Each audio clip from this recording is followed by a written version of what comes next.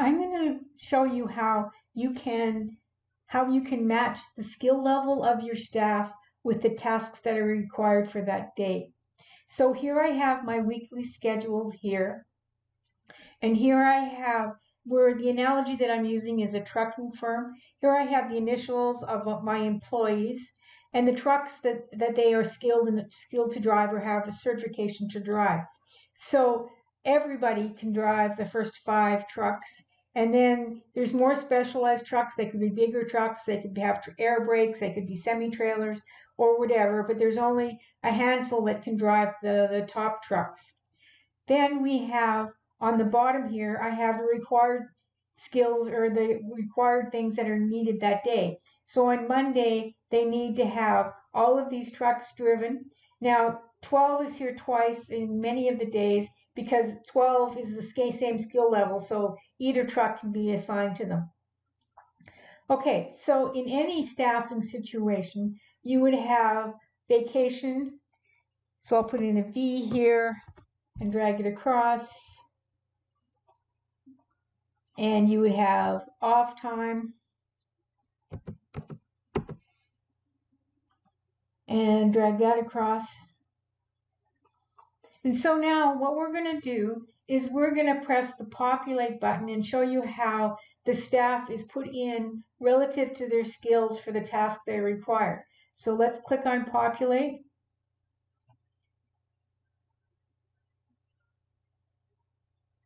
And there you go. There's all our all our people put in and they're telling them what trucks they're going to be driving that week and all the trucks have been accounted for in, in this in this code.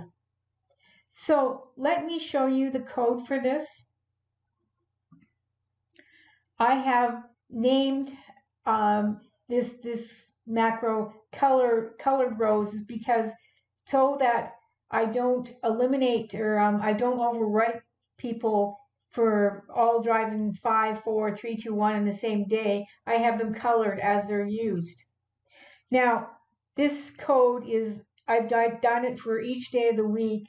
So I'm just going to explain Monday and basically Tuesday, Wednesday, Thursday, Friday is exact same. And I will only include Monday. And if you'd like to do it for the whole week, you can just keep copying the code over. And so um, let's start with uh, Monday. We've we've declared last row, M last row for Monday last row in sheet one cells um, R2 and up, and then row counter equals m last row. Okay, so do while row counter is less than 40, so when we have less than our tasks there, if row equals 41, then go to next day, which is Tuesday. If cells row counter value is empty, then go to next day, Tuesday. Okay, the required equals our, ta our tasks from this table right here. And um, if required, um, required cells row, row counter 2 value. So now we've got our required, now let's look at our staff list. And so our staff skill list is right here. And so um, the first thing I'm checking is to make sure that the 11 isn't colored. And I color it as I use it so that I don't overwrite other, other assignments. So for R12, which is the L here. So what it's doing is it's if the active cell value is required. So if this value equals the number on the required table, then what you're going to do is you're going to um, then skill equals required sheet 1 R11 value, sheet 1 cells R11, and then I'm going to color this. I'm going to color this blue so that I know not to use that one again.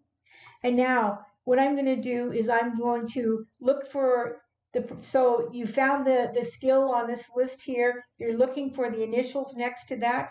You're going to the table.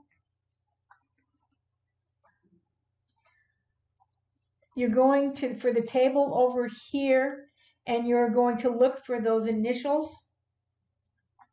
Now, um, when it finds when it finds the initials, then the the row skill equals find row, find skill, so the initials, and we're finding that row.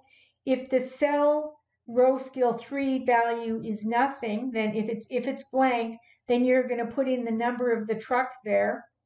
Um, so cells row skill three required equals required, and that's the required value that we've got for the next thing. And then we're going to go go to next, which is uh, our next, which is here, which is um, before the counter. And what I'm doing is from the required table is I'm going from the bottom up. And that's the reason is, is because the ones with um, the 13, 12, 11, there is very few people that actually can, can handle those trucks. So I'm going backwards up the loop. Now, um, now I do this loop until this all of Monday is full, and then I go to the next day, which is Tuesday, and I just basically repeat repeat this whole this whole this whole setup again. I will of course include the the code in the description of my video. Please subscribe.